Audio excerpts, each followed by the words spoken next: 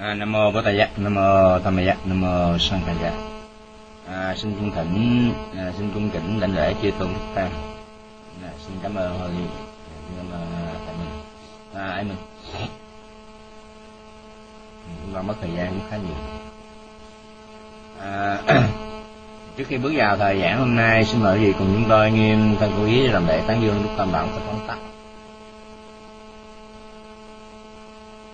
นะโมตัสสะภะวะโตอะระหโตสัมมาสัมพุทธัสสะนะโมตัสสะภะวะโตอะระหโตสัมมาสัมพุทธัสสะนะโมตัสสะภะวะโตอะระหโตสัมมาสัมพุทธัสสะนะโมพุทธะนะโมธรรมยะนะโมสังฆยะ đệ tử xin nghiêm thân khẩu ý để làm lễ tái như nước chư phật. Đệ tử xin nghiêm thân khẩu ý để làm lễ tái như nước chư pháp. Đệ tử xin nghiêm thân khẩu ý để làm lễ tái như nước chư tăng. Đệ tử xin cung kính lễ của thế tôn bậc ưng cúng chánh nặng gia khay à, do năng lực tán ưu dương đức tam bảo thất quán tất xin gia hội chư tôn tăng vi sư cô và toàn thể chư tử trong đạo tràng như được thông tâm thường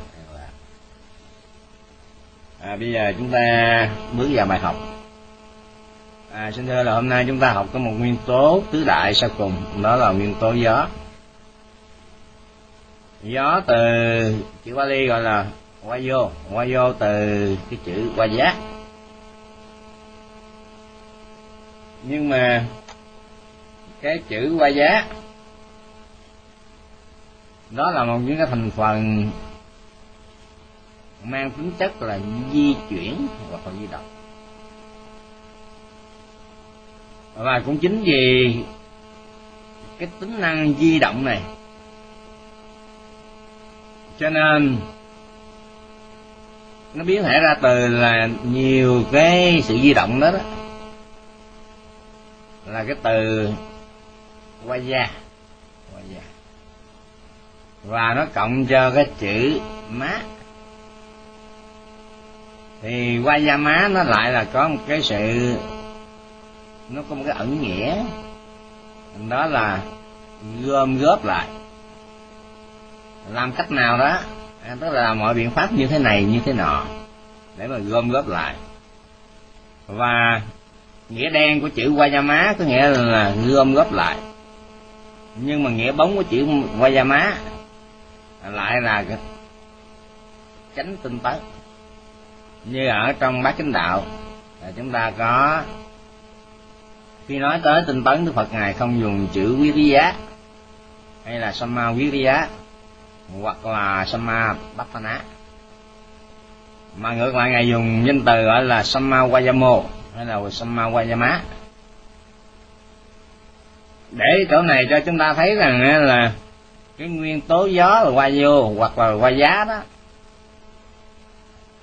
được chuyển ra một cái tính năng động của cái tâm. Bây giờ cái tính năng động đó đó, mà nó có. Thì nếu về vật chất thì chúng ta gọi là gió, mà về tinh thần thì chúng ta gọi là tinh tấn hay là tinh cần. Mà thông thường á, chính vì cái tính chất năng động này hay là tính chất mà gom góp qua da má rồi gom góp lại. Như hình ảnh chúng ta thấy một cái ngọn gió nhỏ, nó chỉ đủ làm cho mát một người nào đó thôi. Hoặc là nó chỉ đủ làm cho lay động những cái cành lá nào đó mà thôi. Nhưng mà khi cái tính năng động này nó vượt lên cao, thì từ những cái ngọn gió nhỏ nó thể gom thành những ngọn gió lớn. Và nó có thể tạo thành những cái luồng cuồng phong. Nhưng mà khi mà những luồng cuồng phong này mạnh nữa thì nó có thể tạo ra những cái cơn tốp xoáy. Hoặc mà khi nó mạnh hơn nữa thì nó tạo ra những cái luồng bão. Và cái cái cái, cái tính chất của bão mà khi nó di chuyển tới đâu á thì xem như nó tàn phá những cái gì mà nó đi qua cho nên khi đức tôn ngài dùng nhân từ là samma vayamo mà chúng ta thường thường dịch là tránh tinh tấn hoặc là tránh tinh cần. Thì ở đây nó có một cái hàm nghĩa rằng nó gom tất cả những cái pháp tốt là và nó sẽ phá hủy đi những cái gì mà nó thấy cần thiết phá hủy. Cho dù cái đó là tốt hay xấu nó vẫn cứ phá hủy. Cũng giống như trận bão mà đi ngang qua vậy dù là cây có lợi ích hay cây không có lợi ích. Hay là những cái gì thuộc về mỹ thuật hoặc không mỹ thuật thì cơn bão nó cũng sẽ tàn phá hết. À, cho nên chính vì đó nó giúp vô phần vào cái sự hủy diệt. Cho nên khi Wayamo ở trong bát chánh đạo, nó gom tất cả những cái thiện pháp trở lại. Nhưng mà đặc điểm chính vẫn là bảy chi phần còn lại, tức là chánh kiến, chánh tư duy, chánh ngữ, chánh nghiệp, chánh mạng, chánh niệm và chánh định. Nó gom là hết để nó phá hủy nó hủy phá hủy cái tốt cũng có và nó phá hủy cái xấu cũng có. Ngay cả cái tốt nó vẫn phá hủy. Chúng ta phải lưu ý điều này. Như là bác chánh đạo của vị thánh a na hàm sau khi mà gom đầy đủ rồi thì phá luôn cả những cái thiện pháp để cuối cùng vậy đó mới trở thành là vị a la hán mà không còn thiện hay là bất thiện. Dĩ nhiên bất thiện đã không còn rồi mà thiện cũng không còn nữa. À, để trở thành một cái vị thánh với những cái tâm thức là vô trí không thiện cũng không bất thiện. Khi nói chúng ta nói có đạo đặc tính đó tức là nó đặc tính của chữ Vayamo và nó Vayamo nó xuất phát từ chữ Vaya có nghĩa là gió. Để từ đó chúng ta thấy được cái đặc tính của cái thể vật chất gió này. Thì gió chữ, từ chữ qua giá đó, nó có nghĩa là làm lai động, làm cho rung chuyển và một cách khác, mỗi phòng ra hoặc nó làm phòng ra những cái vật chất gì mà nó đang có. Nó làm nở rộng, lớn ra. Như vậy thì nói về gió là chúng ta nắm bắt được là nó nó có một sự lay động, một sự chuyển động. Mà đã có một sự chuyển động có nghĩa là nó lôi kéo, nó cuốn, nó hút nó đẩy, vân vân. Tất cả những danh từ đó để nói lên một tính chất của gió. Và bây giờ chúng ta sẽ phân tích, nhìn tiếp. Gió, thể vật chất này nó có hai loại. Một loại bên ngoài, và một loại bên trong. Cái loại bên ngoài thì chúng ta thấy rằng những cái gì mà nó có tính chất lay động hay là nó rung chuyển. Thì nó là hình ảnh của gió. Như những lá cây nó xào xạc, nó rung động. Hoặc giả rằng, khi chúng ta nhìn thấy thấy những con thú đang chạy, hoặc là thấy những dòng sông nó đang chảy, thì tất cả những cái hình ảnh đó, nó chính là gió bởi vì nó có tính chất di chuyển. Tính chất di chuyển. Mà chúng ta thấy là một cái vật này, vật chất nào đó, nó được căng phòng ra, hoặc nó thu hẹp lại. Thì nó cũng là tính chất của gió để khi nhìn vậy á, nhìn những cảnh ra bên ngoài chúng ta thấy như vậy, là chúng ta hiểu biết là chúng ta thấy cái gió.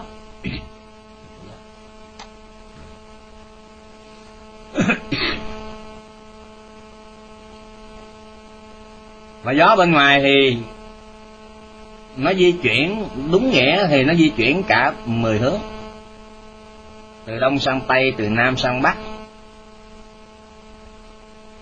Từ trước ra sau, từ trên xuống dưới, hoặc là bốn hướng phụ, bốn hướng chánh, hoặc hướng trên hướng dưới. Chúng ta có mười hướng gió di chuyển vậy và một đặc tính của gió nữa mà chúng ta nên nắm bắt là nó không có bị trói buộc bởi những cái thể vật chất khác. Nó khác với đất, nó khác với nước, hoặc nó khác với lửa. Nước mà chúng ta nhìn thấy đó, thì nó vẫn bị trói buộc bởi những cái đất bờ bao của nó như là những dòng sông nó tuôn chảy như vậy. Nhưng mà nó lơ, nó bị hai bên cái bờ sông nó ngăn chặn. Hoặc giả rằng ở giữa dòng sông có một cái cồn đất nào nó nổi lên, thì nó cũng vẫn bị ngăn chặn. Ngược lại, gió thì nó không bị ngăn chặn. Cho nên người ta nói rằng không ai đem nhốt gió được bao giờ vô cả hở nó vẫn cái xuyên qua. Dù rộng lớn thì nó cũng vẫn xuyên qua. Đây là một là tính chất của gió.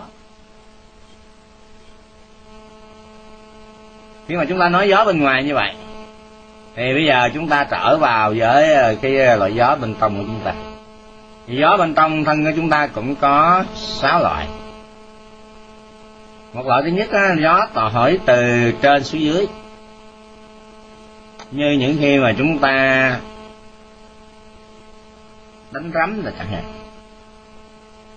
Hoặc là gió nó thổi từ dưới ngược lên trên. Như những lúc mà chúng ta bị ở ngáp, chẳng hạn. Rồi gió thổi từ trước ra sau hoặc từ sau ra trước. Như là khi mà chúng ta cúi đầu phía xuống xuống phía trước, hoặc là ngã người ra phía sau rồi gió nó đi từ bên phải sang bên trái, hoặc là từ bên trái sang bên phải.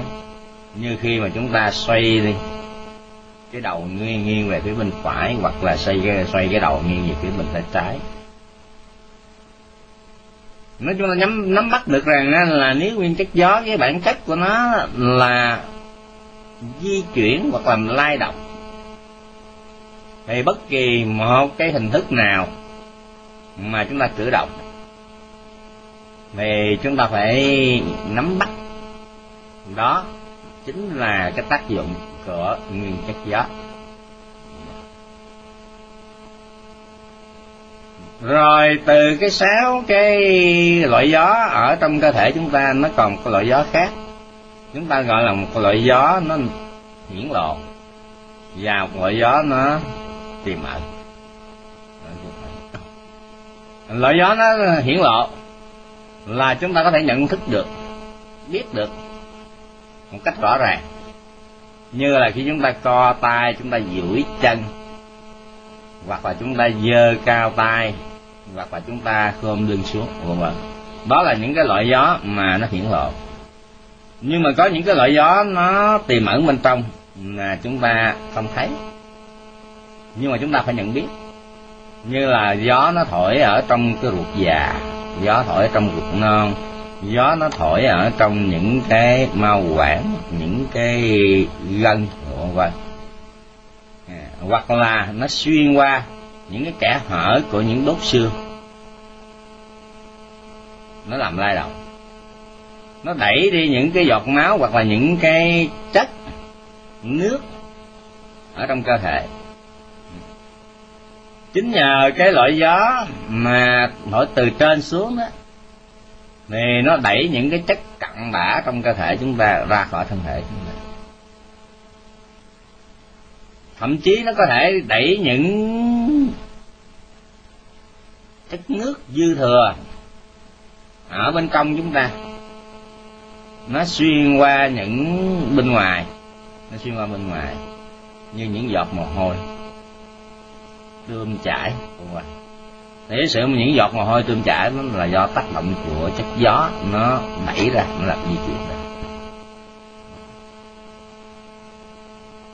Thì những cái loại gió mà nó à, khúc bóng ở trong thông thân chúng ta đó, như là gió trong ruột già, gió trong ruột non, gió trong những cái mau quản chính vì trạng thái làm căng phòng ra như vậy thì nó giúp cho những thể vật à, chất khác có thể trôi chảy được cách dễ dàng hoặc là di chuyển cách dễ dàng như vậy thì cái trạng thái của gió mà chúng ta cần nắm bắt, tức là ngoài cái trạng thái di chuyển, thì nó làm trương ra cái thể vật chất nó căng phòng ra những cái thể vật chất chính cái sự làm căng phòng đó nó mới làm di chuyển được những cái thể vật chất mà nó đang tác động tới. Như ngọn lửa chẳng hạn. Ngọn lửa có thể là nó nảy nở lớn lên. Từ một đốm lửa thì nó cũng có thể, nếu có nhiên liệu thì nó sẽ trở thành là một đống lửa lớn và những ngọn lửa đó càng lúc càng nới rộng nới rộng. Cái sự nới rộng đó là do cái tính chất căn phòng của gió.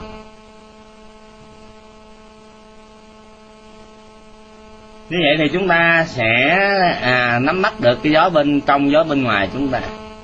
Và mỗi khi mà chúng ta ngáp chúng ta buồn ngủ chúng ta ngáp.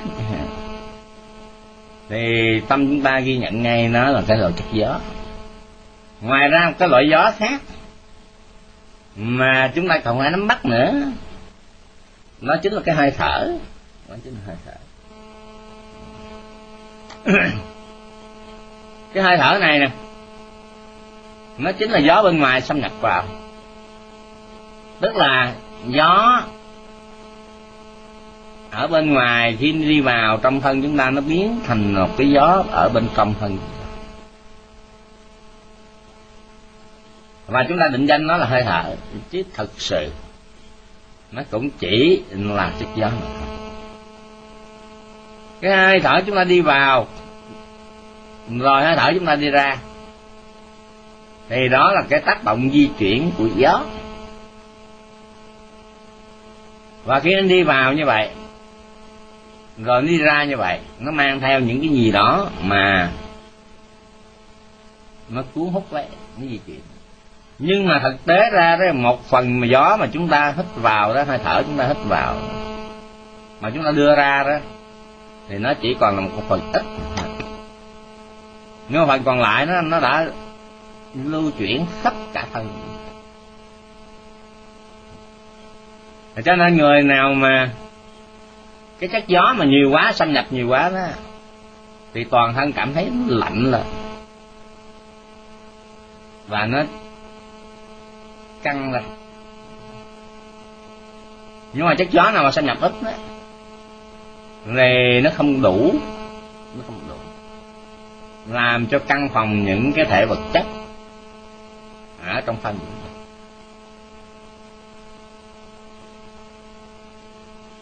nhưng mà cũng không nên. Cũng không nên. Là áp chế cái chất gió này bằng cách là hít vô thật sâu hoặc là thở ra thật nhiều cho hết cứ để nó đi vào ra một cách bình thản. Và chúng ta nói với quý vị rằng không phải chỉ có hơi thở chúng ta nó đi vào ở trong thân chúng ta qua cái đường mũi hay đường miệng. Mà chúng ta vừa trình bày quý vị rằng gió nó sẽ không bị cản trở bởi những thể vật chất nào cả. Bây giờ có một kẻ hở là nó đã len qua à, cho nên gió nó cũng có thể xuyên qua bằng lỗ chân lông. Những cái lỗ nhỏ nó có đi qua được. Cho nên điều này giải thích tại sao có một số người họ không cần thở bằng miệng mà họ chỉ cần thở bằng lỗ chân lông như những người thở lặng như hạn. Họ lặn xuống nước thật sâu nhưng mà họ vẫn thoải mái được. Bây giờ họ rèn luyện được một cái cấu trúc là họ dùng cái lớp da của họ hấp thụ đi những chất gió mà mang vô trong cơ thể của họ.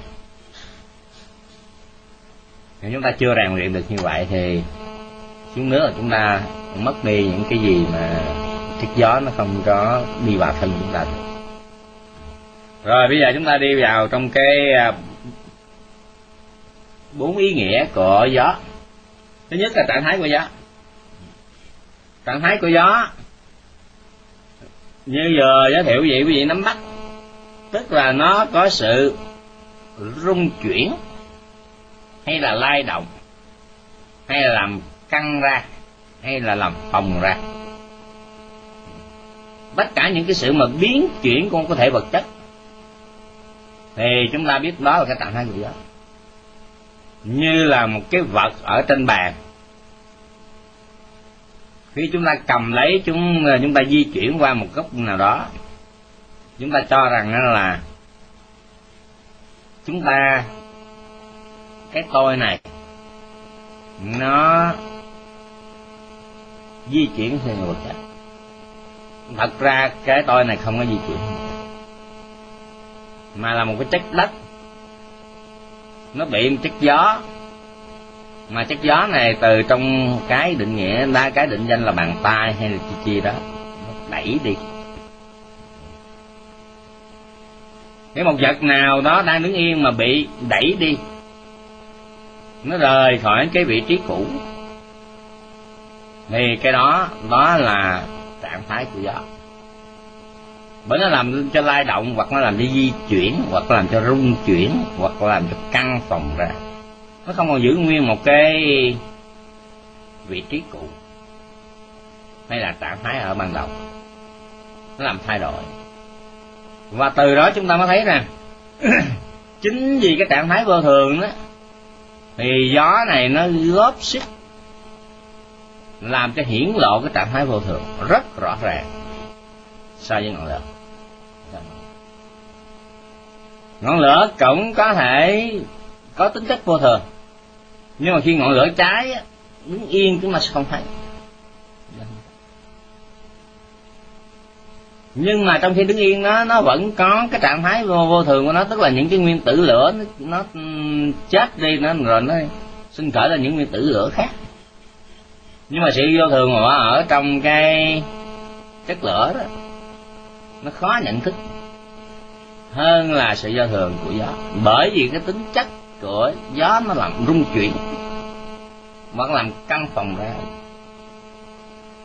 Thì cái cái hiện tướng vô thường nó hiển lộ ra rõ, của thầy vật chất rất là rõ. Và cái nhìn như vậy là chúng ta phải biết rằng tác động của gió, nó làm cho cái hiện tướng vô thường này nó phát huy. Và tính chất làm căn phòng cho nên khi nào cái thể vật chất này mà cái vô thường nó càng hiển lộ rõ thì người đó cần phải hiểu biết nếu là cái thể vật chất thì nó là cái tác động của gió. Và cái trí chúng ta cần phải phân tích như vậy. Chứ không phải à, nhìn một cái lá cây mà nó rung chuyển chúng ta cho nó là vô thường là chúng ta nói đất này vô thường. Thật sự đất nó chưa phải là vô thường. Nó vô thường theo cái nhìn khác. Nhưng mà cái ngọn lá này nó rung chuyển, mà chúng ta cho nó ngọn lá nó vô thường nó thì chúng ta phải biết rằng nó chính là cái chất gió, nó làm hiển lộ cái tướng vô thường.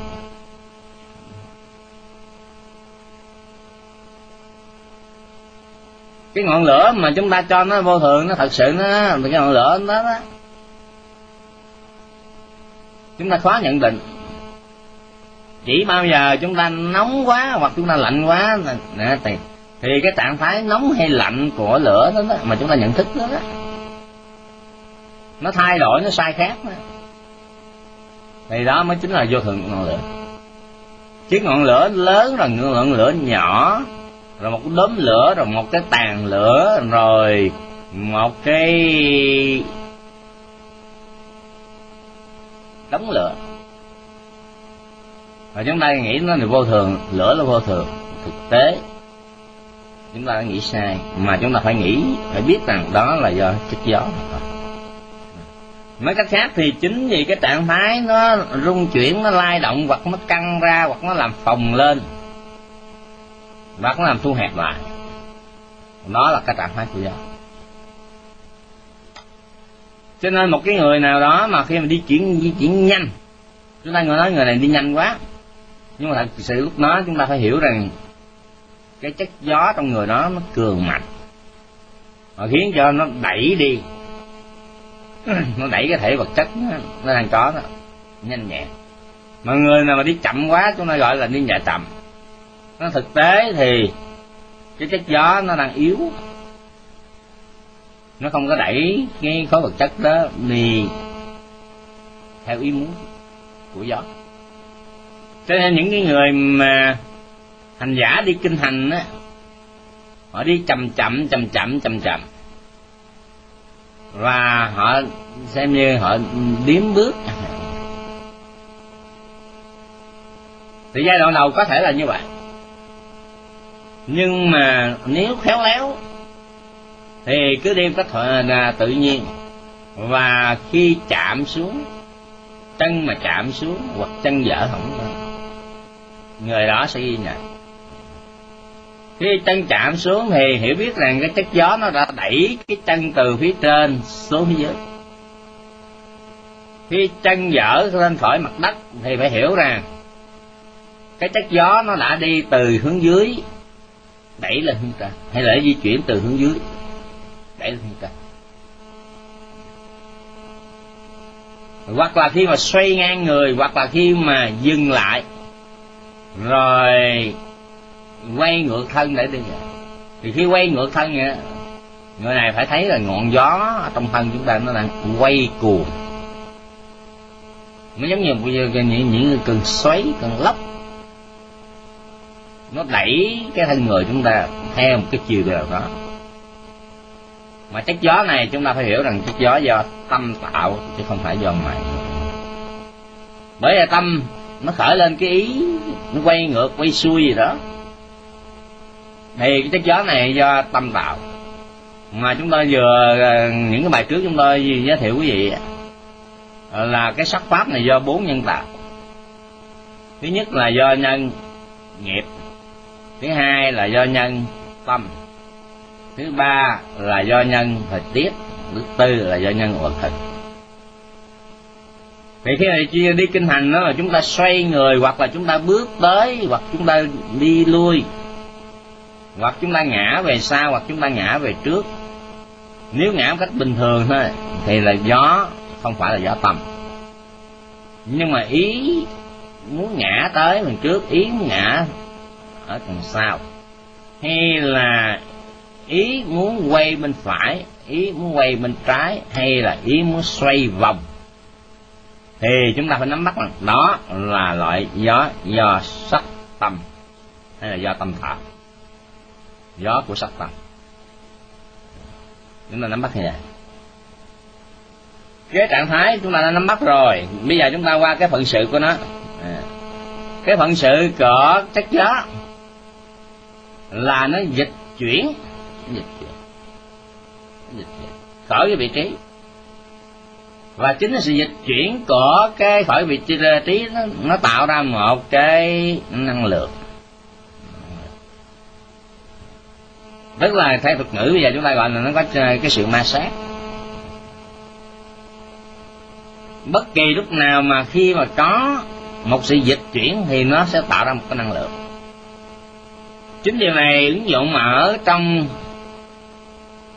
phần tâm rất là tốt đẹp những thiện pháp chúng ta nếu khéo gom lại bởi ý, bởi sự cố ý, bởi sự cố ý. Thì những thiện pháp nó nó sẽ phải dịch chuyển. Mà một khi nó dịch chuyển, nó tạo ra một cái năng lực mới. Màn tâm thì có một năng lực cực kỳ mạnh. Ở trên đời này, ở trên thế gian này, không có một sức mạnh nào mạnh chỉ bằng tâm bởi vì tâm nó thể xuyên suốt cả tam giới. Gió thì nằm trong tam giới, chế mà tâm thì nó có thể vượt. Để nhận thức được cái ở ngoài cái tam giới. Ừ. Mà muốn được như vậy đó thì nó phải có sự dịch chuyển. Tức là chính di chuyển, dịch chuyển đó, thì nó mới tạo ra năng lượng. Mà cái dịch chuyển này, nó chính là cái cố ý của tâm tức là tâm sự tiền từ đó mà chúng ta có thể nắm bắt được về cái sự dịch chuyển của những cái phát hiện ở trong tâm.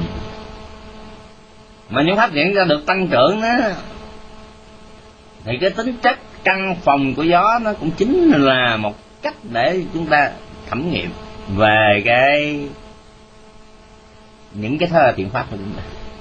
Chúng ta làm cho nó tăng trưởng là bằng cách nào? Bằng cách gom góp những cái gì đó nó thuộc thành phần đó để cho nó căn phòng ra, để cho nó vươn lên. Và cho nên chúng ta mới thấy cái chữ qua dâm mô mà đức phật ngài dùng ở trong cái chánh tinh tấn của bác chánh đạo. Đặc biệt luôn, đặc biệt luôn.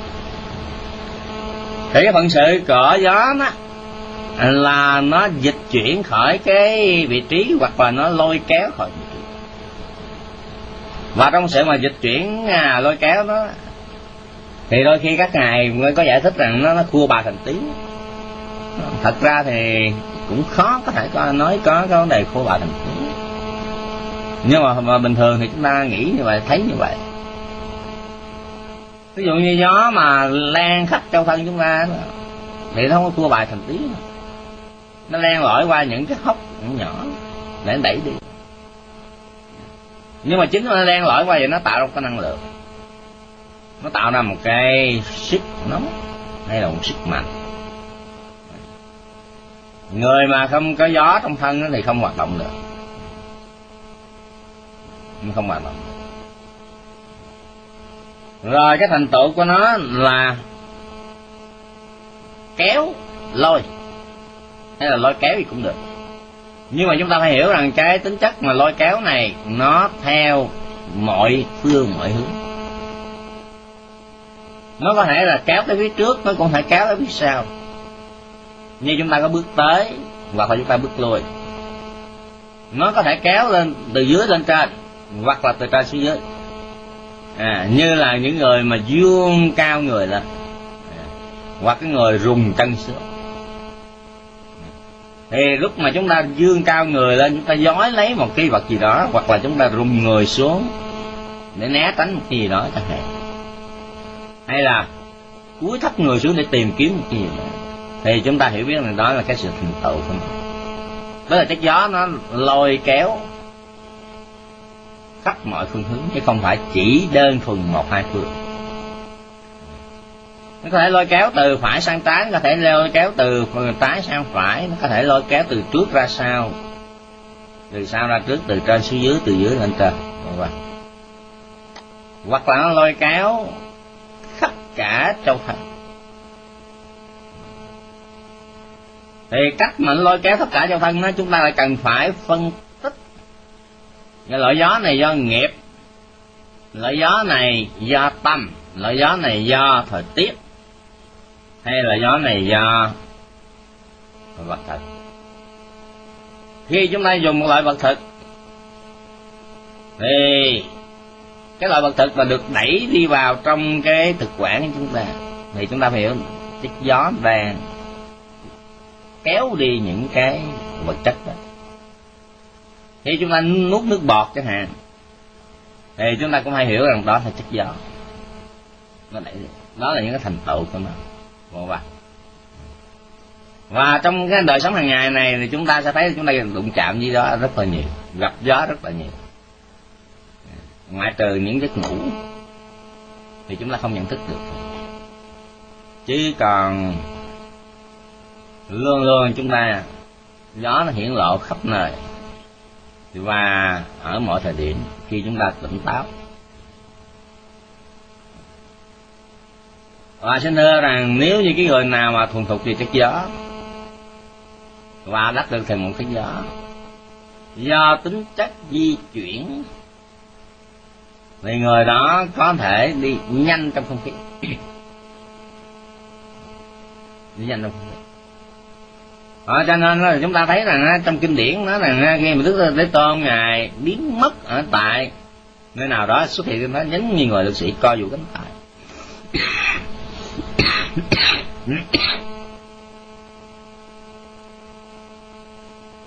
cái người lực sĩ mà co duỗi cánh tay rất dễ dàng, nhẹ nhàng như thế nào?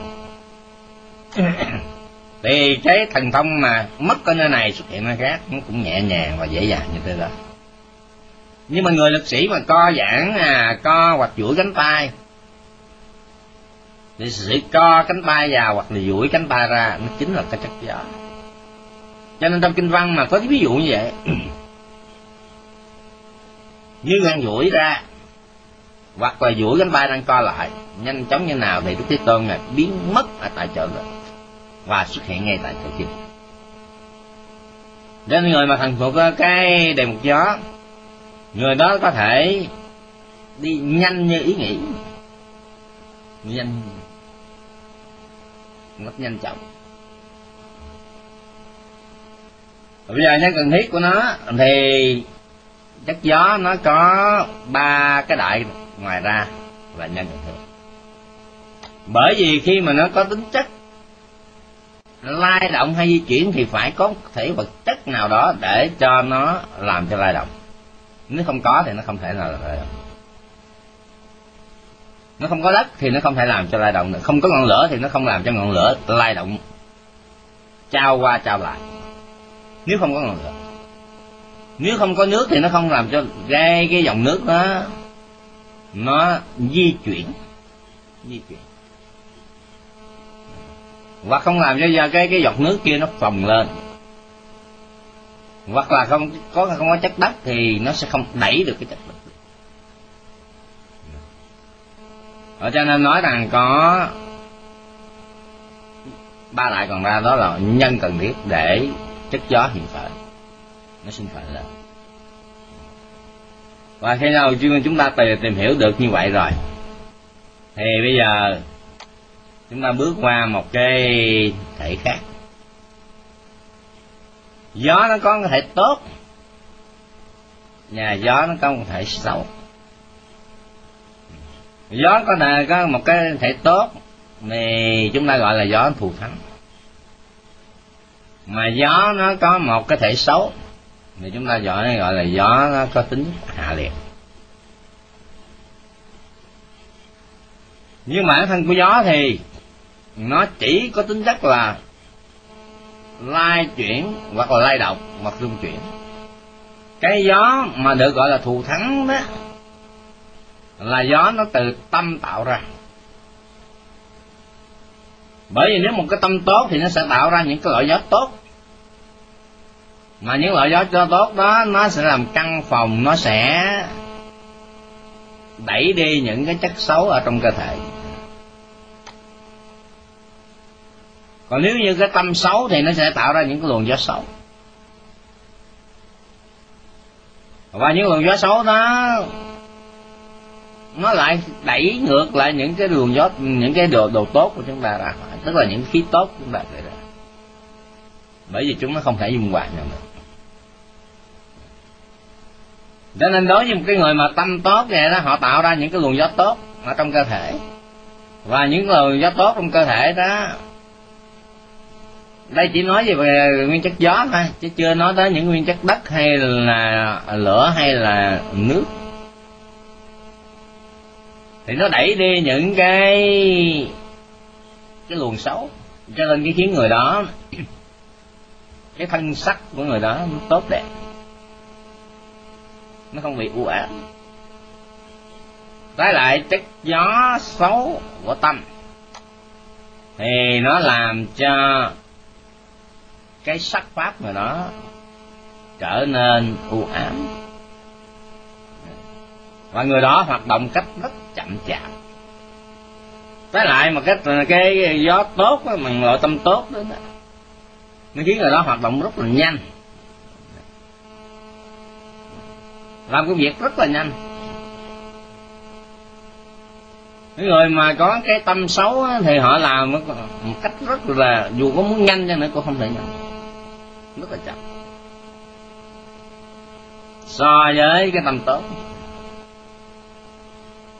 cho nên thì điều đó giải thích làm sao là có những cái tâm tốt đó, nó có tính hướng thượng. Thì những gì do nó tạo ra cũng vẫn có tính hướng thượng. Mãi tâm xấu thì nó có tính hạ liệt, những gì nó tạo ra cũng có tính hạ liệt. Một loại gió hạ liệt khác. Mà so với gió tâm đó là những cái loại gió của thời tiết gió tâm nó chưa hẳn đã làm cho chúng ta chết liền. Nhưng mà loại gió thời tiết bên ngoài có thể làm chúng ta chết ngay. Mà loại gió thời tiết này nó lại trợ giúp cho những cái nghiệp xấu nó sinh khởi lên. Cái nghiệp xấu của chúng ta sinh khởi lên nó cũng phải là do thời tiết mình làm được như điển hình thì chúng chúng ta nhớ một câu chuyện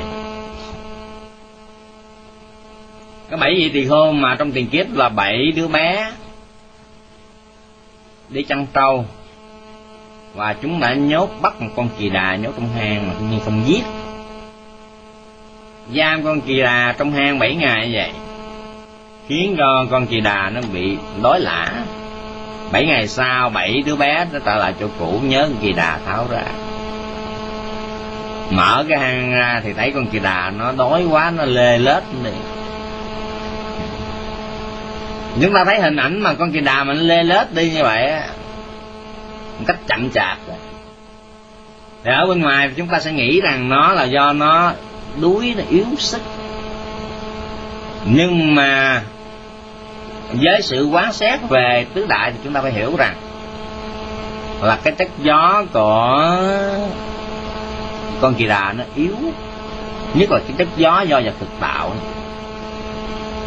Nó không được sung mãn nó có khác thông thường chúng ta có bốn loại gió. Gió do nghiệp tạo, gió do tâm tạo, gió do thời tiết tạo, gió do vật thực tạo. Bao giờ mà thiếu mất đi một loại đó, thì cơ thể chúng ta trở nên là mất quân bình về chất gió.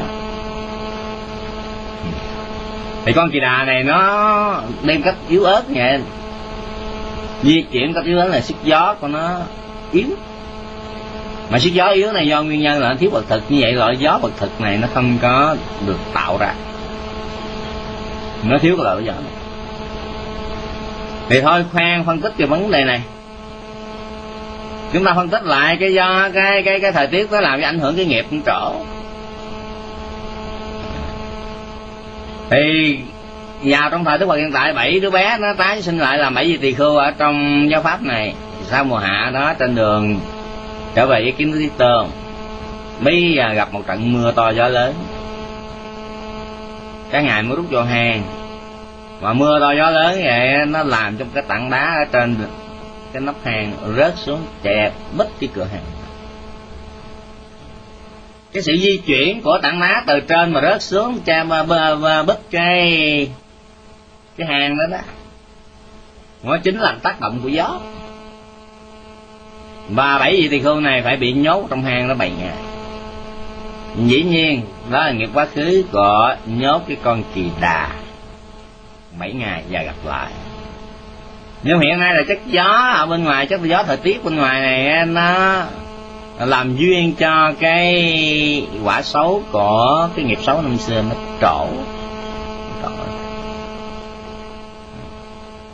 như thế nào cũng vậy thì cái gió thời tiết á bên ngoài đó, nó xâm nhập cơ thể chúng ta nó có thể làm cho những cái nghiệp xấu của chúng ta nó cơ hội nó trổ. Bằng chứng giống như một cô vũ nữ của đại thần sanh tá tí cô ta nhịn ăn để cho thân hình được ẻo lả được thon để nhảy múa để làm hài lòng cho đại thần sanh tá tí à, bất ngờ một cơn gió xâm nhập vào khiến nàng bị đứt tim mà chết cắt đứt tim ngã xuống một đại khái chúng ta nói là trúng gió mà chết bất đắc kỳ tử. Mà sự chết bất đắc kỳ tử này nó chính là cái quả xấu của ác nghiệp. Nó trổ rồi. Mà cái giấc gió đó, nó xâm nhập cơ thể. Như đại thần sanh tế tí là phải buồn khổ đúng không đại khái như vậy à, cho nên đối với loại gió thời tiết là chúng ta cũng nên cẩn trọng đó. Mà không khéo thì nó cũng là giúp điều kiện cho cái nghiệp quả chúng ta nó sinh khởi giúp nghiệp xấu chúng ta sinh khởi. Bây giờ thân thể đang khỏe mạnh như vậy một luồng gió rét nó thổi qua có thể người đó bị cảm bị bệnh. Dĩ nhiên bệnh này là do thời tiết nhưng mà nguyên nhân sâu xa nó phải là cái nghiệp quá khứ. Nó khiến cho mình bị bệnh. Nguyên nhân gần là gió thời tiết. Như quý vị biết rằng ngài đức sáu lợi phất á, một thánh a la hán vào ngày hôm trước trước khi ngài đã biết được rằng sắp sửa ngày mệnh chung tức là sắp sửa ngày viên tịch ngày giây phút cuối cùng thì ngài phải tế độ thân mẫu của mình và ngài trở về. Thì giai đoạn đầu á bà Sari cũng còn khó chịu. Nhưng mà lâu rồi thì bà nghĩ thôi thì cũng mọi chuyện cũng không qua. Nhưng mà tình thương của bà trỗi dậy khi vào nửa đêm nó vào đêm đó đó ngài phát sinh một cái chứng bệnh gọi là kiết lỵ đức sáng phật cho mình kiết lỵ và ngài đi tiêu chảy đến mức độ mà nó tuôn máu ra rồi. Thì đứng trước mặt cái hình ảnh mà con, người con thân yêu duy nhất của mình mà bị bệnh mà mà tuôn máu ra vậy, bà chịu không nổi rồi. Tình thương trở lại. Tất cả những cái oán thù, tất cả những cái bất bình khó chịu. Không phải là oán thù mà cái bất bình khó chịu. Nó đã xót sạch mà khi à, khi mà chúng ta nhìn á, chúng ta thấy rằng á, chất máu ở trong người mà nó tuôn ra vậy thì phải là chất gió. Gió, nó đẩy ra. Thì bây giờ tâm của bà Sari đó đã không cái còn hờn giận gì? Đức xá lợi phất. Cái điều này cho chúng ta suy ngẫm nha. Để để trợ giúp đó vừa tạo phước mà cũng vừa là giúp cho cái thiện nghiệp của bà Sari cởi lên. Nghiệp đó nghiệp gì? Nghiệp tính tâm. À, cho nên đầu hôm tứ đại dương xuống đánh lễ đức à, uh, sa phật tuần cưới rồi, gần giữa đêm thì vua trời sẽ xuống đảnh lễ. Lần cuối. Rồi gần rạng sáng, đại phạm thiên sa mắt tế xuống đảnh lễ lần cuối. Với hào quang rực sáng như vậy, chiếu khắp cả căn phòng này. Chúng ta mới thấy là cái chất gió nó đẩy cái hào quang lan tỏa khắp bà mới hỏi đức sa la phất, đức sa phất trả lời. Bà mới hoan hỷ, ồ, mấy con ta mà còn cao hơn tứ đại dương, còn cao hơn vua trời đế thích, cao hơn đại phạm thiên, thì bậc đạo sư còn cách nào từ những hình ảnh đó nó du nhập nó khiến cho cái niềm tin của bà dựng khởi lên. Và nhân đó, đức thế đức xá lợi phất đền đáp công ơn của bà bằng thời pháp, dứt thời pháp, bà chứng quả dự lượng à, chúng ta nhé đừng bao giờ cho những thể vật chất nó không có tạo duyên nó không có trợ duyên cho những cái thiện nghiệp hay là bất thiện nghiệp sinh khởi nhưng mà chất gió thì nó làm hiện lộ nhiều nhất. Và chúng ta nắm bắt được một hai cái chi tiết. Có cái thời tiết nó tạo cho nghiệp quả. Chất gió chất đất chất nước chất lửa và mỗi khi gặp những chuyện gì thì chúng ta sẽ phân tích. Và tìm một nguyên nhân đó để chấm dứt hoặc là chúng ta làm tăng trưởng lên. Sắc pháp chúng ta tốt, nó dẫn tới cái tâm chúng ta tốt. Tâm chúng ta tốt dẫn tới sắc pháp tốt. Giữa tâm và sắc, nó luôn luôn nương tựa với nhau. Tựa giống như hai cọng lao dựa vào nhau để mà đứng ngã một cái cọng lao này thì cọng lao kia cũng phải ngã. Sắc nương tâm để sinh khởi, tâm cũng nương sắc để mà hiện bài, để mà nó tiến triển. Và đặc biệt là chất gió, bởi tính chất lay động, tính chất di chuyển, tính chất căn phòng này, nó giúp cho tâm đón nhận lại được những cái điều tốt đẹp hoặc là những điều bất tắc vậy và thôi vậy thời gian lên này cũng vừa phải có báo sanh lên xin cúng dường như con đức tăng xin đem tới sự an lành cho quý sư cô và xin đem tới sự tấn hóa trong Phật pháp cho toàn thể chư Phật tử trong đạo tràng trong các nhà vị quan hỷ thọ dụng để được tất kỳ mọi sự nghiệp. Nhất là phân tích được đất nước lửa gió để du nhập vào trong tâm ba cái tứ trạng vô thường khổ vô ngã thì chúng ta đầu ở nước bàn đồng nhau cả thầy nam mô của thầy giặc nam mô tham giặc nam mô sanh thầy giặc Dạ con ờ, thành kính à, tri ân thượng tọa giáo thọ đã cho chúng con một bài giảng về chi diệu pháp về nguyên tố gió hôm nay.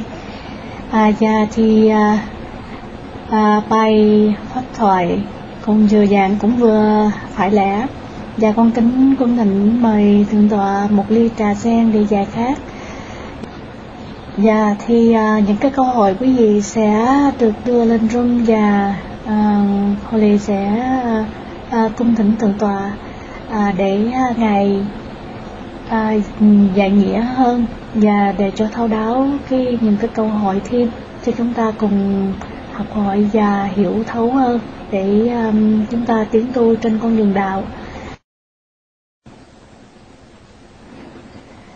Dạ, à, kính thưa thượng tọa, à, con có những câu hỏi vừa đưa lên. À, và con xin à, đọc cái câu hỏi thứ nhất. À, gió làm trái đất xoay quanh mặt trời.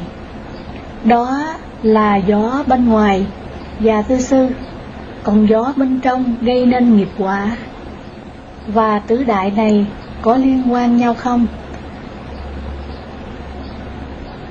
hay là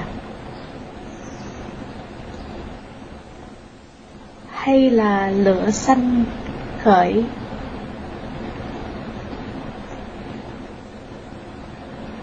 Hay là lửa xanh khởi thì đất, gió, nước bị đè lại.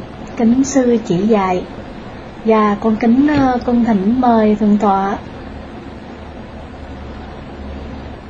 Hay là lửa xanh khói thì đất, gió, nước bị đè lại kính sư chỉ dạy giờ con kính con thỉnh mời à, thượng tọa. À xin thưa khi mà trái đất mà xoay quanh mặt trời á nó rất là sự di chuyển cái đất chúng ta thấy có hai loại gió nha. Một cái loại gió thứ nhất là gió bên ngoài trái đất. Nhưng mà chúng ta thấy rằng trái đất nó tự xoay bên mình nữa nó xoay quanh mình là độ khoảng 11 cây số một giây. Và như vậy là cũng gió bên ngoài, nhưng mà nó, nếu mình tính về trái đất thì nó với chính là cái gió bên trong trái đất. Nó lại đi. Bây giờ khoan nói tới, giờ à, nói tới cái gió tứ đại bên trong chúng ta. Thì cái thành phần mà gió tứ đại bên trong chúng ta đó, nó tiềm ẩn bốn loại gió trong thân chúng ta có cái sự mà gió nó di chuyển từ trên xuống hoặc từ dưới lên trên hoặc từ phải sang trái hoặc là từ trái sang phải hoặc là từ trước ra sau hoặc là gió trong ruột già trong ruột non trong bụng trong cơ thể. Thì nó hình thành đó, đó là bốn loại. Một loại do nghiệp tạo à, một loại do tâm tạo. Một loại do cái thời tiết nó tạo. Chính cái nóng lạnh ở bên ngoài nè nó làm cho cái gió bên trong nó cũng thể sinh khởi luôn. Hoặc là cái sự nóng sự lạnh ở trong thân thể chúng ta nó cũng giúp cho cái loại gió kia nó sinh khởi hoặc là những loại vật thực của chúng ta ăn vào. Đưa vào. Thì nó cũng giúp cho cái loại gió nó sinh khởi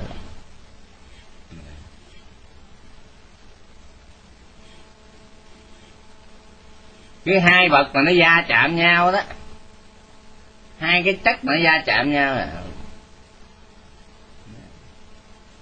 để tạo ra một cái sự di chuyển. Mà di chuyển đó chúng ta phải nói là cái gió. Cái bậc thực mà đưa vào á nó chạm vào trong cái lưỡi chúng ta rồi cái lưỡi chúng ta nó cuốn đưa lại. À. Thì cái loại cái cái cái cái, cái lưỡi chúng ta bằng đây nó là trạng thái của gió là nó di chuyển. Nhưng mà khi mà cái lửa này mà cái lưỡi này mà nó chạm vô cái đất á, của vật thực đó nó làm rung chuyển này thì nó tạo ra cái cái loại gió. Loại gió này được gọi là gió giật vật cực sinh. Mà luôn luôn cái nguyên tắc mà chúng ta có đó, là sắc pháp phải có bốn nhân nó không thể khác được nhưng bây giờ thì cái gió bên ngoài cũng có thể ảnh hưởng gây tạo nghiệp quả cho cái nó tạo duyên cho cái nghiệp quả sinh khởi. Mà gió trong thân chúng ta cũng có khả năng trợ giúp cho nghiệp quả chúng ta sinh khởi. Chúng ta điển hình chất gió trong người mà chúng ta nó yếu đó thì khiến cho những cái thể vật chất trong thân chúng ta nó không di chuyển được nhanh chóng. Đại khái như máu thì không di chuyển được nhanh chóng thì chúng ta sẽ bị áp huyết thấp nhưng mà nó cường mạnh quá nó đẩy đi mạnh quá nhanh quá thì chúng ta sẽ bị cái áp huyết cao. Mà như vậy thì chúng ta thấy rằng cái gió ở trong thân chúng ta có thể là thời tiết cũng có có thể là do nghiệp cũng có có thể là do tâm cũng có. Như những người mà cái tâm sân nổi lên á, thì cái máu chạy nhanh hơn mà tâm thiện á, thì cái máu chạy đều hơn. Nghĩa là mà tâm sân cái máu chạy đẩy nhanh hơn. Mà sự máu mà đi nhanh hơn vậy á, thì rõ ràng là nó sự di chuyển nó do chất gió. Thì đôi khi sân quá có thể bị ngạt tim này kia. Bất tỉnh đây là bất tỉnh. Những người sợ quá kinh hoàng quá xỉu đúng không bác? Thì à, không phải là chỉ hẳn là gió bên ngoài nó mới trợ duyên cho cái nghiệp quả sinh khởi. Mà gió bên trong nhiều khi cũng có cái tạo cái điều kiện cho duyên nghiệp sinh khởi. Cái cái cái quả của nghiệp nó sinh khởi. Ngay cả vật thực bên ngoài cũng vậy. Nó cũng có thể làm điều kiện cho cái nghiệp quả sinh khởi như trong cái, à, câu chuyện về thiên cung có vị tỳ khưu bị bệnh. Mà bệnh này ngài không thể triển khai được pháp quán. Thì đức thế tôn hôm đó thấy được tiền duyên của ngài. Nhớ mới dặn vị tỳ khưu này này tỳ khưu ông hãy bác ở bờ ruộng đi. Vậy thì con này đặt niềm tin lên đức thế tôn. Đức thế tôn dạy gì thì nghe đó nó chẳng có, chắc là có một lý do gì đó, đức thế tôn bảo mình đi bác ở bờ ruộng mà đi bác bờ ruộng làm sao mà kiếm được vật thực thông thường ta đi vào trong những thôn xóm hoặc là đi vào những thị trấn. Nếu mà đức tôn dạy thì vị này nghe. Họ cho nên đi cũng sẽ đi đi ra bờ ruộng bây giờ vào ở bờ ruộng có người gắt ruộng. Người đó vào buổi sáng nó mới đi tìm những con cua đồng bắt lấy nướng lên để chuẩn bị làm món vật thực cho mình. À, gặp gì tỳ khô á cái người giữ ruộng này quan hỷ quá. Hôm nay may mắn quá mình gặp được gì sa môn mình tạo phước. Cho đem cái món ăn hay là cái bữa ăn dành cho mình nó đem cúng dường. Vậy này ăn xong cái món mà cua nướng đó, đó. Mà không ngờ món con nướng nó là một cái dược phẩm để trị chứng bệnh cho vị này. Ăn xong rồi á thì vậy đó chấm dứt ly chứng bệnh. Cái bệnh nó khi giảm thấy rõ nên vậy đó hoan hỷ. Mà khi tâm hoan hỷ phải lên vậy đó mới triển khai phát à, phát huy cái tuệ quán và chứng đạo quả ngay tại bờ ruộng. Như vậy chúng ta thấy rằng cái loại vật thực này nó cũng giúp cho cái nghiệp quả có thể sinh khởi. Mà đã nói vật thực thì chúng ta phải nghĩ tới gió. Cái gió đúng đó. Bởi cái gió nó đưa cái loại vật thực này á, đi vào trong những cái cơ thể. Rồi nó đưa những cái dưỡng tố này nó làm trị những cái chứng bệnh kìa mà một khi bệnh hết tức là nó chấm dứt cái nghiệp quả. Chấm dứt là nghiệp quả. Và nơi, nơi đó thì cái quả tốt nó và vậy đó mới triển khai cái tự quán là cái quả tốt nó sinh khởi cho nên cái gió bên trong nó cũng thể tạo điều kiện à, để chấm dứt nghiệp quả. Mà gió bên ngoài cũng có tạo điều kiện để làm sinh khởi nghiệp quả, vân vân. Rồi bây giờ trở lại khi mà một cái lửa mà sinh khởi thì ba chất còn lại thì như thế nào? Xin thưa. Điều này rất là khó khó định. Khó định. Bởi vì khi mà lửa sinh khởi thì đồng thời trong cái lúc nó xin lỗi, gió mà sinh khởi thì đồng thời lúc đó lửa cũng sinh khởi. Rồi đồng thời lúc đó đất cũng sinh khởi. Và đồng thời trong lúc đó nó là nước cũng sinh khởi. Mặc dù nói rằng á, ba đại còn lại là nhân cho cái lửa sinh khởi. Nhưng mà chúng ta thấy là những bài học trước á, bất kỳ một chất nào, đất, nước, lửa hay gió đều có ba đại ngoài ra hết. Ba đại tức là một cái sự hổ tự nhiên. Hổ tự nhiên. Nè, cái này giúp cái kia sinh khởi thì cái kia giúp cái này sinh khởi. Nó tương ứng vậy. Và mỗi cái, những cái sự sinh khởi của mỗi cái chất đó đó, nó theo cái đường hướng riêng của nó. Và chúng ta không nên nhầm lẫn rằng khi mà chất nước sinh khởi hay là chất gió sinh khởi thì ba chất còn lại nó bị đè xuống, không phải nó sẽ sinh khởi theo cái đường hướng riêng của nó. À, Ví dụ như nào? Ví dụ như có bốn người. Cùng ở trong một nhà và cùng nấu cơm chung ăn à, một mâm. À. Vậy cái người này đó, dọn cơm. Người kia thì dọn bát. Rồi người nọ thì sắp sửa vừa giặt thịt và mâm cơm hình thành do sự cộng tác của bốn người. Nhưng mà mỗi người làm theo cái phận sự riêng của mình. Không ai lớn qua ai cả. Cái người mà dọn cơm là chỉ biết dọn cơm. Người dọn vật à, đồ ăn á cứ là cái cái cái cái vật thực kia, ngoài cơm ta dọn, người biết lau chén biết lau chén. Ngồi sắp sửa, giờ à, sắp sửa là à, đũa à, bát gì đó. Thì nhưng cả bốn người cùng trợ giúp nhau như vậy. Như thế nào cũng vậy.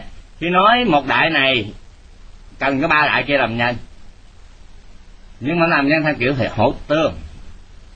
Hỗ tương tức là cái này trợ giúp cái kia. Thiếu một không được.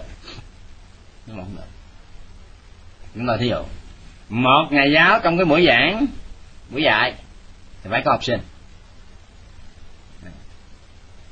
Không có học sinh sẽ không có nhà giáo. Mà không có nhà giáo sẽ không có học sinh. Thì không phải là nhà giáo xuất hiện là học sinh mất, không phải. Mà không phải học sinh xuất hiện, nhà giáo mất, không phải. Cái được gọi nhà giáo phải nhờ có học sinh. Cái được gọi là học sinh phải nhờ có nhà giáo học sinh sinh lên. Cái từ học sinh sinh lên bởi có nhà giáo.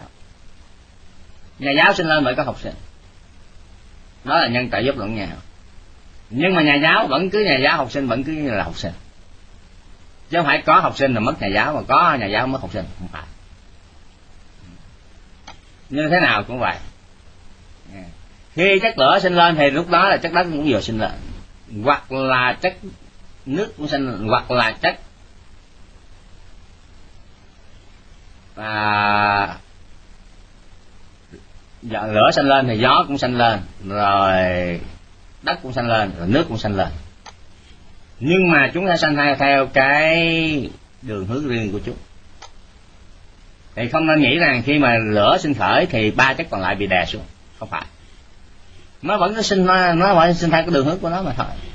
Nhưng mà khi nào nó trưởng thành nó nó mạnh đó thì một cái chất nào mạnh hơn thì áp chế ba chất kia. Ví dụ như khi mà chúng ta ngồi. Thì chất đất nó mạnh hơn. Nó đất có mạnh hơn. So với chất lửa hay là chất gió. Nhưng mà khi chúng ta đi ờ, chất gió nó mạnh hơn, nó so với ba chất còn lại rất là cường thạnh hơn. Thì cái đó nó hiển lộ, một chất nào mạnh thì chất đó sẽ hiển lộ rõ hơn ba chất còn lại chứ không nên nói khi chất lửa sinh khởi thì ba chất còn lại. Bị. Đè sớt. Không phải. Mà chúng cũng là sanh với nhau. Chỉ khi nào một chất nào cường mạnh hơn, thì nó áp chế ba chất còn lại. Ví dụ như chất lửa nó cường mạnh hơn à. về chất gió nó sẽ bị yếu đi. Nhưng mà yếu đi. Ở trong thân chúng ta đó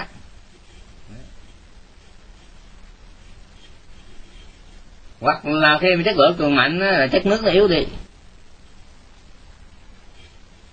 Hoặc là chất lửa chất nước cường mạnh thì chất lửa kia nó yếu đi mù vàng là chúng ta hãy nghĩ vậy nhưng mà khi sinh thì chúng có được sinh khác nhau à, à, riêng biệt lẫn nhau. Và chúng cùng sinh chứ cũng không bao giờ mà chúng tách lìa nhau đó là câu trả lời chúng tôi.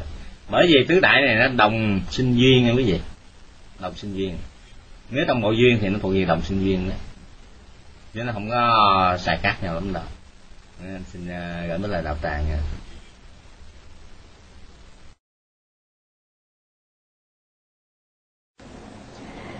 Dạ sa thú sa thú.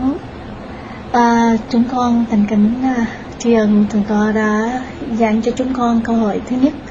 Bây giờ đến câu hỏi thứ hai. Gió khởi lên bên trong nếu gây bất thiện pháp Thì mình tu tập. Nào để dập tắt? À, Gió đừng khởi sanh à. Kính sư chỉ dạy.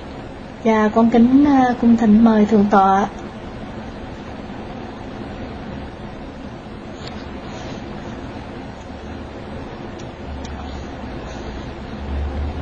À, dạ, à, con kính cung thỉnh mời ngài ạ.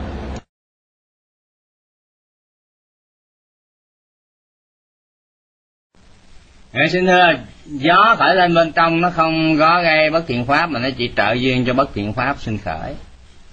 Nó trợ duyên bất thiện pháp sinh khởi. Chúng ta nên nhớ là nó làm duyên cho bất thiện pháp sinh khởi là nó khác với nó tạo ra bất thiện pháp. Nó làm duyên cho bất thiện pháp sinh khởi mà cái bất thiện pháp sinh khởi đó, cái được gọi bất thiện pháp sinh khởi, chúng ta phải nhớ cái nhân sinh của bất thiện pháp sinh khởi đó nó luôn luôn có cái nhân. Bất di bất dịch. Đó là đắc ý không khéo. Đắc ý không khéo. Cho dù gió bên ngoài hay gió bên trong những vậy nó cũng có thể tạo duyên cho bất thiện pháp sinh khởi chúng ta thấy gió mạnh quá. À, gió bão chúng ta khó chịu không hài lòng thì cái khó chịu không hài lòng đó nó nó là bất thiện pháp.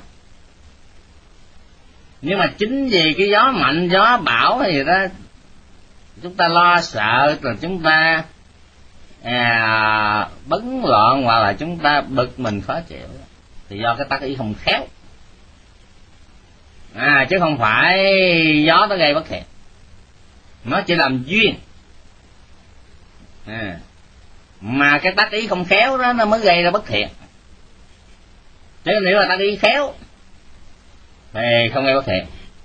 Chúng ta thí dụ giống một cái người mà cái ngọn gió nó bay ngang qua mà nó mang cái mùi xấu, người đó khó chịu, không hài lòng. Thì cái khó chịu, không hài lòng đó đó, nó là cái tâm bất thiện. Nhưng mà nó xuất phát từ cái nhân là tác ý không khéo chứ nếu người đó có tác ý khéo á, thì nó gió chỉ là gió mà thôi. Mùi chỉ là mùi mà thôi. Nó trầm tĩnh lại thì tâm bất thiện kia nó không có. Bây giờ cái ngọn gió nó phất qua gió bên ngoài nó phất qua. Mà nó gây cái mùi thơm nó có mang theo cái mùi thơm. Vì do cái tác ý không khéo cho nên tâm tham nó sanh khởi. Còn do tác ý khéo thì cái tâm tham kia nó không sinh được à chỉ là gió mà thôi, chỉ là hương mà thôi. À bình thản. Rồi bây giờ gió bên trong khởi lên, nếu nó gây bất thiện pháp ví dụ giống như một cái người mà sôi bụng lên họ khó chịu về chứng bệnh, thì bây giờ ta cái không khéo chứ không phải là cái gió đó. Cái gió đó chỉ làm duyên, nó làm điều kiện. Nếu mình chột bụng chẳng hạn tức là gió bên trong.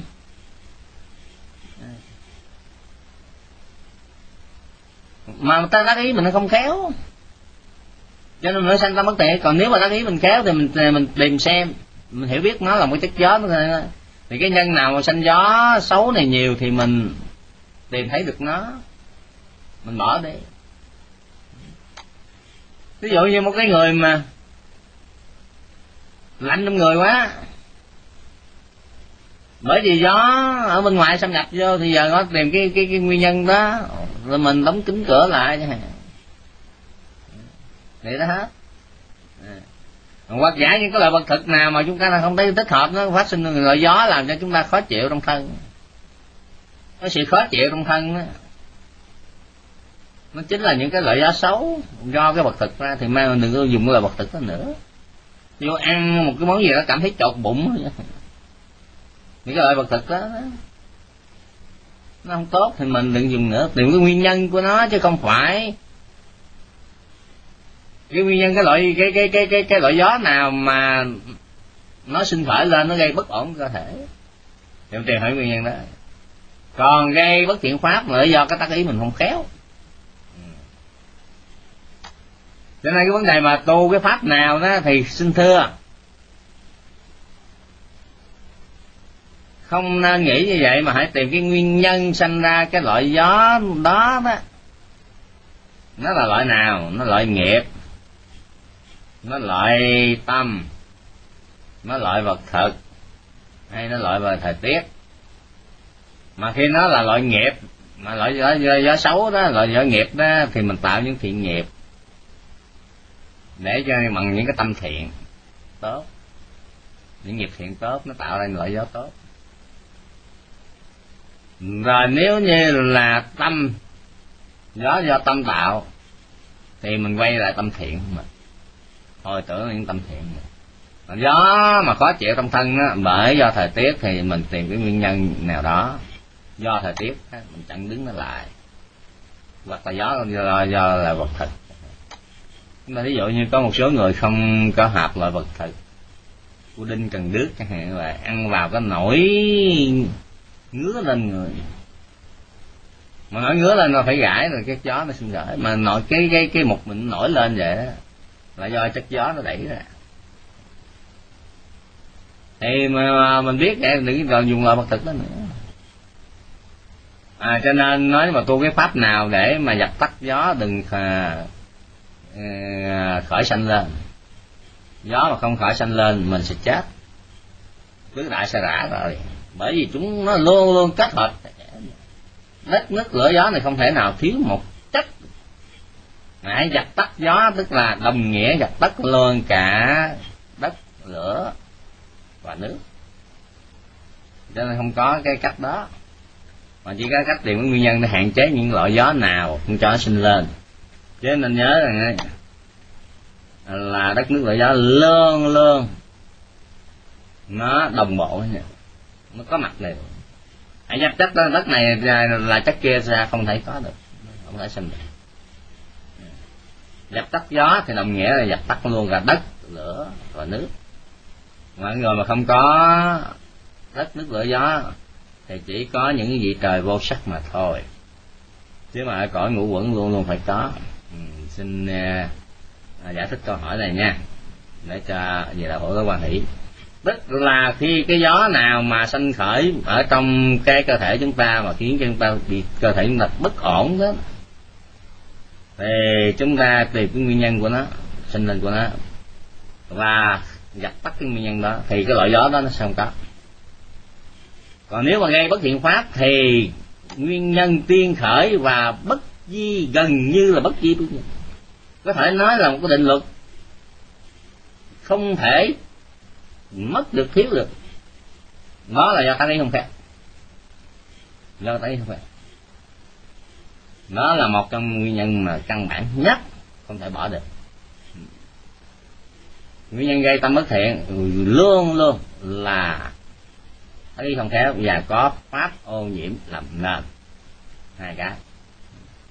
Ngoài ra từng gây cái cái cái cái cái cái, cái tâm bất thiện riêng có những nguyên nhân khác biệt nhau riêng mà chúng ta đã tìm hiểu rồi và chúng tôi xin ờ, giải thích như vậy và với lời đạo tràng nam mô bổn thầy dạ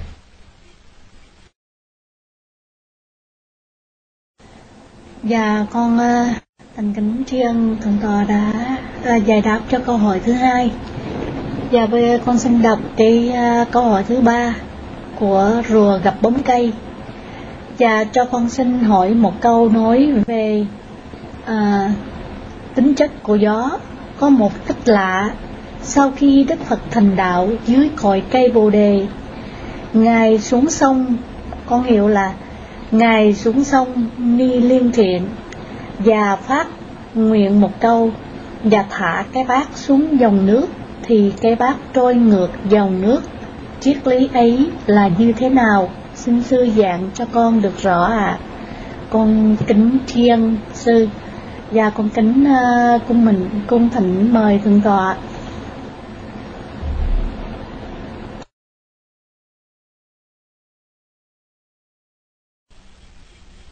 Dạ. À, à, xin cảm ơn câu hỏi này. Thật tình mà nói á vì nói về cái triết lý đó thì chúng ta đừng có dễ dời cái triết lý không có triết lý gì cả. Thì không nên dễ dời cái triết lý đó. Nhưng mà trường hợp mà cái bác, cái bác trôi ngược dòng sông ni liên đấy khi ngài thọ dụng cái bát cơm sữa của nàng Sucheta ngài vắt thành 49 vắt cơm. Tới ngay thọ dụng rồi. Ngài mới thảy cái bá xuống dòng sông và ngài nguyện là, nếu ta hôm nay mà chứng quả vô thượng chánh giác, thì cái bát này hãy trôi ngược dòng sông. Và cái bát nó đã ra trôi ngược dòng sông. Và đã chìm xuống với dòng sông Hằng dòng sông Ni Liên. Thì cái sự kiện mà cái bát trôi ngược đó, thì trước mắt chúng ta nhìn đó là sự di chuyển của gió tức là cái tác động của gió. Nhưng mà cái đó là nguyên nhân gần mà chúng ta nhìn thấy như vậy nhưng mà nguyên nhân xa của sự tác động này thì do thần lực của chư thiên. Là một. Bởi vì chư thiên luôn luôn cũng theo hầu bồ tát. Vì biết ông này trong cái kiếp đó ông sẽ chứng quả do thượng chánh đẳng giác cho nên lúc nào cũng trợ giúp lúc là không theo ủng hộ à, cho nên khi nghe bồ tát phát nguyện vậy thì không trợ giúp. Để cho có niềm tin vững mạnh sự tự tin lớn mạnh. Cho nên đẩy cái bát đi.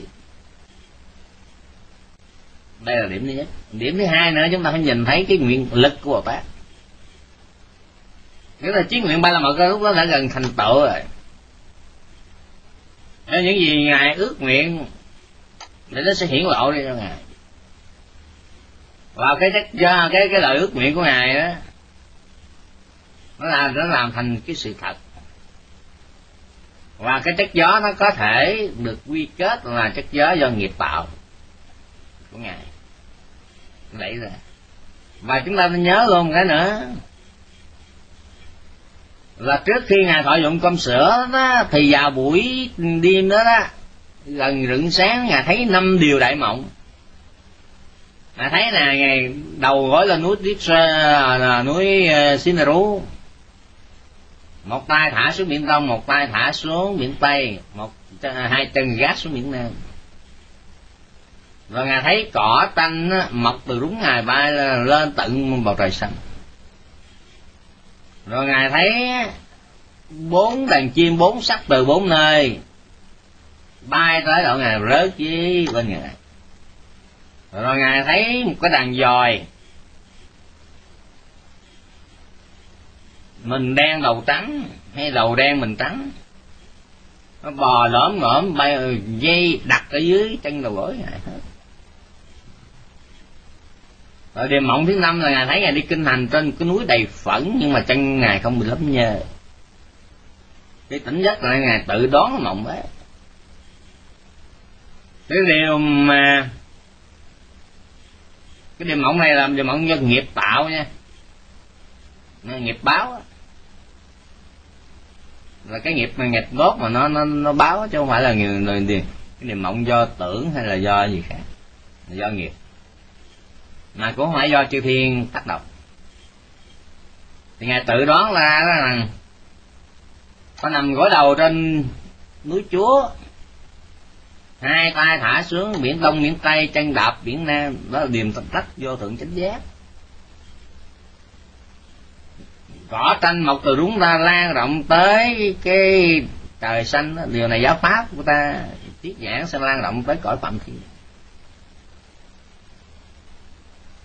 Bốn đàn chim, bốn màu từ bốn nơi tụ hội về. Và tất cả rớt xuống toàn là trắng hết từ bốn giai cấp. Để nghe pháp của như lai và chứng đạo quả là hãy cái đàn dòi bò lõm ngõm với chân dày đặt cái chân nó tận đầu gối. Mình đen đầu trắng hoặc là, chúng ta phải nhớ rõ, mình đen đầu trắng hoặc là mình trắng đầu đen. Mà chỉ là bốn hàng tí chúng là cư sĩ chứng đạo quả nhiều vô số. Rất là chưa phải là thánh a la hán vậy đó niềm mộng thứ năm là ngài đi ở trên cái núi toàn này phẫn.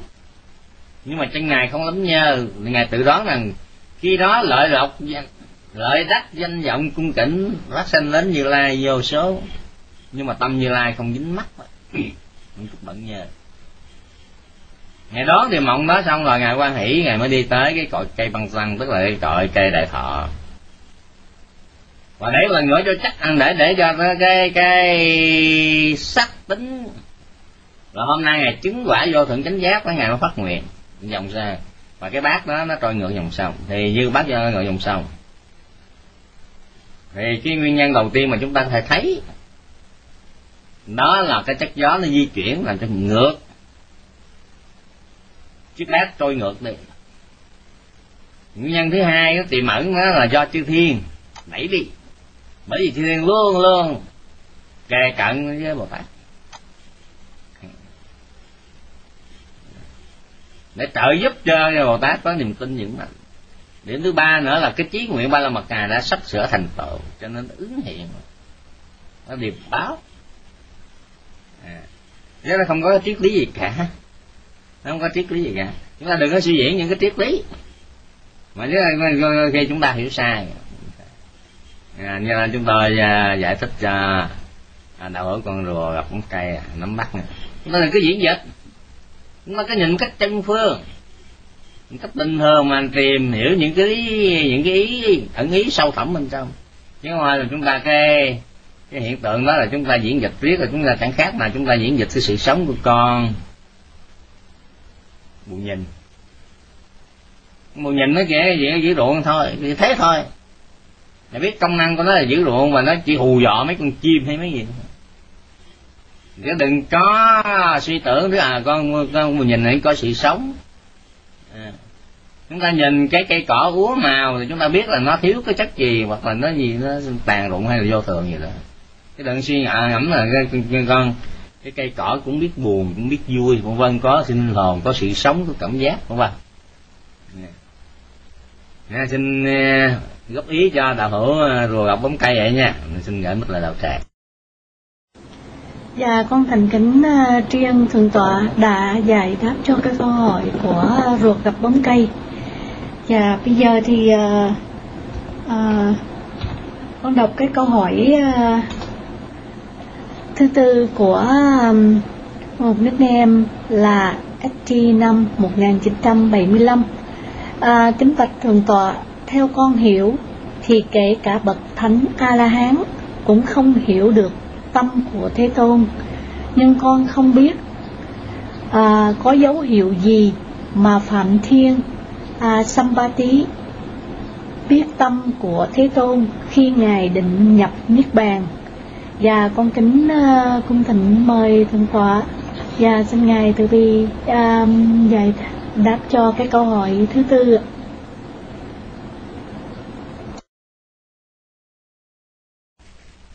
Dạ.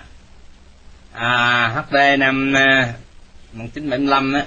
Nên lưu ý chúng ta vậy. À, xin thưa rằng khi không biết được tâm bậc thấp mà không biết được tâm bậc cao là muốn chỉ những tâm siêu thế. Tức là không biết được tâm đạo của vị đó mà đã không biết tâm đạo dĩ nhiên không biết được tâm quả siêu thế của vị đó như người thường nhân thì không thể biết tâm.